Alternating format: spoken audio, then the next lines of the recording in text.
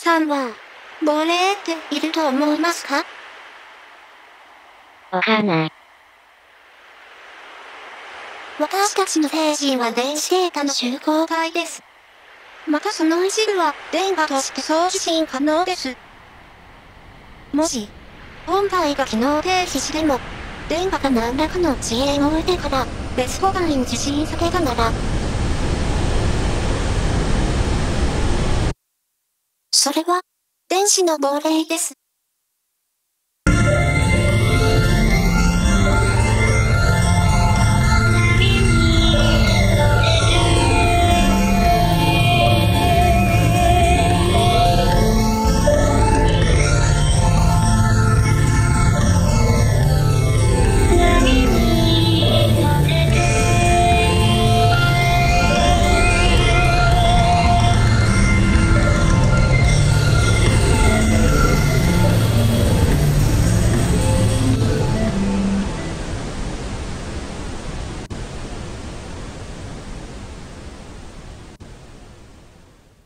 会場の歯車。